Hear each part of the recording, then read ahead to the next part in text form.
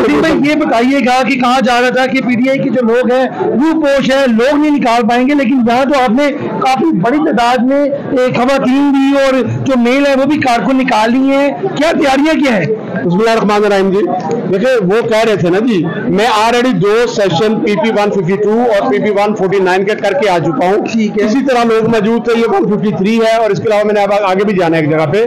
हमारे एन एक सौ इक्कीस में जो हमारे पास तकरीबन हमें 1300 एजेंट चाहिए थे लेकिन 2800 लोग हैं जिन्होंने आपने आपको रजिस्टर करवाया है जिसमें हमारी खातन बहने हैं जिसमें हमारे वर्कर्स हैं। ट्रेनिंग क्या दी जा रही है ट्रेनिंग दी जा रही है कि दो तरह की ट्रेनिंग एक तो जो लीगल मामला है फॉर्म 42 है फॉर्म 45 है फॉर्म 46 है। इसके अलावा जो चलाकियाँ हैं जो की जाती है उनके मुतालिक भी बताया जा रहा है। तो पुराने सियासी कारकुन है दाव पेच भी सिखाए हैं पोलिंग एजेंट्स को।